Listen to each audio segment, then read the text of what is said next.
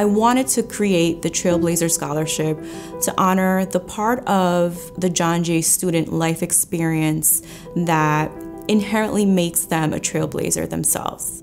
You know, Vielka Holness care deeply for uh, increasing diversity in the legal profession. It's really why the Pre-Law Institute was created and um, was the ultimate goal of her everyday uh, job. Vielka Holness was a trailblazer herself. And I'm calling this the Trailblazer Scholarship to honor that part of her professional experience.